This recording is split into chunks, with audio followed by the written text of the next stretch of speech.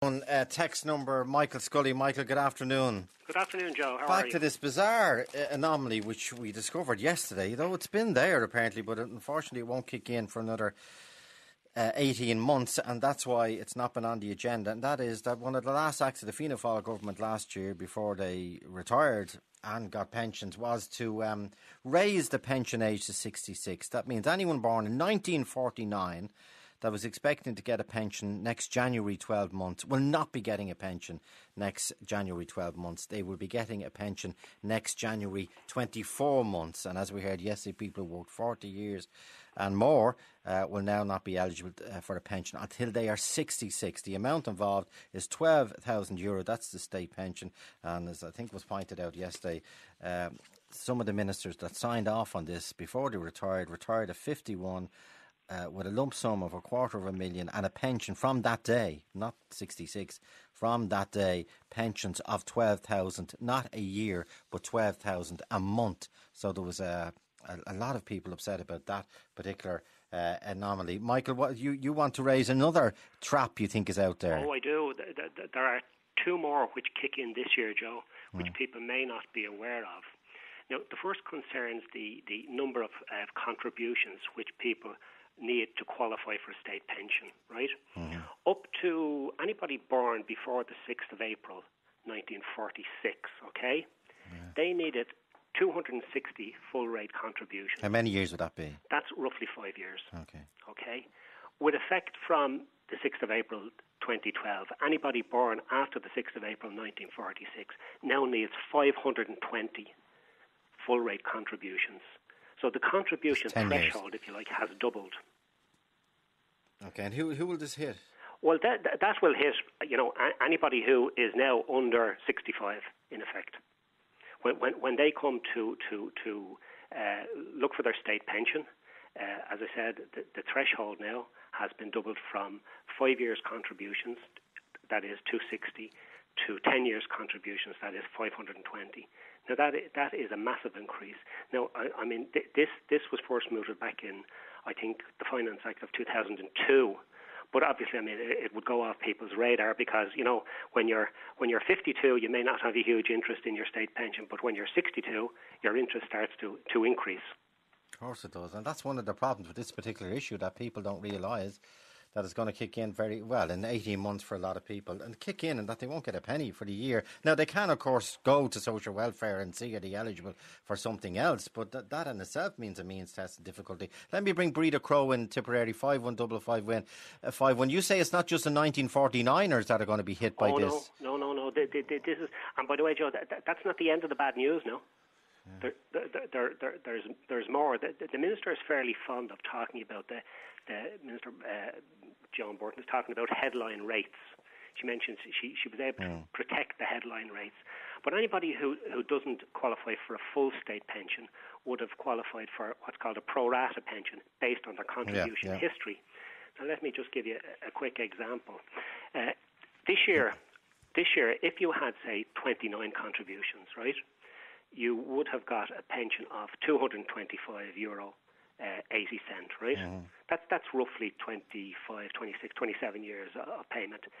From September of this year, that has been reduced to 196 euro, wow. which is a reduction of 13 percent. If you had, say, this year, if you had uh, an average of 14 contributions, you would have got a pension today, if you qualified, of 115 euro 20 that's been reduced from September of this year to 92 euro, which is a 20% reduction. Now, this this this mainly affects people who, who, for whatever reason, would have would have left the social mm. welfare system in the in the 60s, the 70s, and the 80s. Okay. Perhaps, as you know, in the 60s and 70s, it was. It and I know unusual. I know you've been looking at that infamous page from the Irish Times of the. Absolutely, absolutely. I mean, if you, what, if you, what struck you about the, well, the pensions? what, what really struck me is that the the, the, the, the, the pensions for the outgoing TDs, I mean, when you look at the type of figures that the likes of, of, of farmer Taoiseach Ahern and, uh, and Brian Cowen got, pensions of 164,000 euro per year. And even moving down. From age 50. At age 50, exactly. And I mean, it, it, okay. by the way, I mean, it, you move over to, say, likes of Noel Ahern after uh, service of, of about 18 years, he gets a pension of 69,000. And I mean, it wasn't just incidentally, in case I'm accused of Fianna Fáil bashing. I mean, th- this was for all outgoing TDs, mm. from you know, from Liz McManus to yeah, Mary but the ministers, but well, the ministers who signed off, and it's the it's a cabinet, I presume. Well, the TDs would have voted for as well, but the cabinet signed off on this increase in the age and the abolition of the pension oh, for oh, a year. Oh, they certainly did. They, but they, anyway, that, okay, so, uh, okay, say that, Michael. I need to bring Breda Crow and then Eugene and Cork. Breda, good afternoon. You're 19, Joe. Good, thanks. You're not. You're not 1949. You're 1950. I'm 51, Joe. 51. Okay, so, so how's it going to hit you? Well, the very same. I should. I will retire from my job in 2016. And will you have? But a, I won't get any pension until 2017. And how many years have you worked? I will have worked 50 years when I'm 65. My God. Yeah, so after 50 years working in contributions to uh, yeah. at age 65 you're still not entitled to a pension? No. Not entitled to a penny. My god. And how do you react to that Breda now? Well I actually am trying. I mean I know about this for months. I remember okay. I heard about it the minute it came out. So you, you, you a, a light went off for you because of the yeah, year I did. I immediately tweeted but Joe, to be honest, you know, I can't spend the next four or five years being in the depths of depression over it. I'm quite a positive person. Fair play to you. Yeah, so I'm only hoping that some union takes it on. That Who takes it on? Some union. One of the unions. You know, if, if if I could work another year, I'd be more than willing to work it. Yeah. But I actually have to go when I'm in 2016. Let me say that, Breda. Eugene and Cork. How you doing, Joe? Why, are you a 49er or what are you? No, you're uh, 59. Okay. But I will retire. The company brought in a pension specialist, and he said that our contracts will be up in, when we're 65. With the, with the job, but, yeah. With the job. Yeah. But my uh, my state pension won't kick in until I'm 67. Oh, so hello. Okay, by the time, because it's going up and up and up, we're told. Yeah. Because of so, like, people younger than me won't be allowed to uh, get the state pension until they're 68. So there'll be a three year black hole.